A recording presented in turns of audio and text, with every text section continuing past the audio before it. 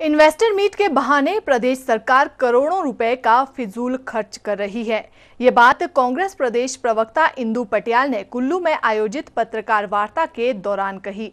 उन्होंने कहा कि एक तरफ़ प्रदेश पचास हज़ार करोड़ रुपए से अधिक कर्ज में डूबा है और दूसरी तरफ़ इन्वेस्टर मीट कर प्रदेश सरकार प्रदेश को और कर्ज में डुबाने का काम कर रही है।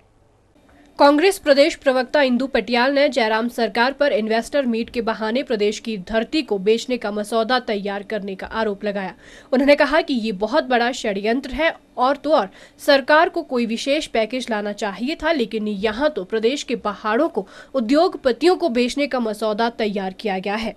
इन्वेस्टर मीट के बहाने प्रदेश सरकार करोड़ों रुपए का फिजूल खर्च कर रही है। इंदु पटियाल ने कहा कि एक तरफ़ प्रदेश सरकार पहले ही पचास हज़ार करोड़ रुपए से अधिक के कर्ज में डूबी है और इन्वेस्टर मीट कर प्रदेश को और कर्ज में डुबाने का काम प्रदेश सरकार कर रही है।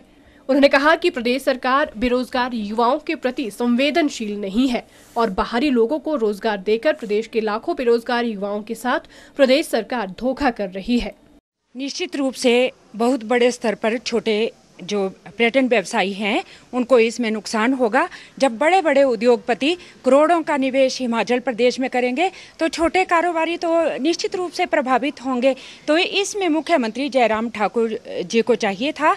इन्वेस्टर मीट से पहले उनको जो है है पर्यटन को लेकर के जो एक बड़ा पैकेज हिमाचल प्रदेश के लिए आ, मांग करनी चाहिए थी। ऐसा कुछ नहीं हुआ। मुझे तो ये लग रहा है कि ये पूरी जो इन्वेस्टर मीट हो रही है ये भाजपा सरकार जो है एक षड्यंत्र रच रही है और जनता को लोगों को और सभी दलों को जो है गुमराह कर रही है। इवन जो विपक्ष के विधायक हैं, उनको इस इन्वेस्टर मीट के लिए निमंत्रण ही नहीं दिया गया है।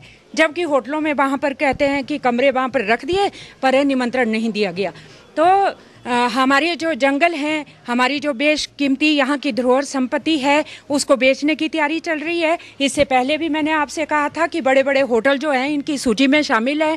अब ये किस प्र प्रकार से करते हैं मुझे तो लगता है कि पूरी तरह से ये जो है जनता को और सभी दलों को गुमराह कर रहे हैं और ये एक फिजूल खर्ची है जबकि हिमाचल प्रदेश पहले ही कर्ज में डूबा हुआ है और इस प्रकार की फिजूल खर्ची मुख्यमंत्री जयराम ठाकुर जी कर रहे हैं। मुझे इस सिटी चैनल के लिए कुल्लू से दिलीप ठाकुर की रिपोर्ट।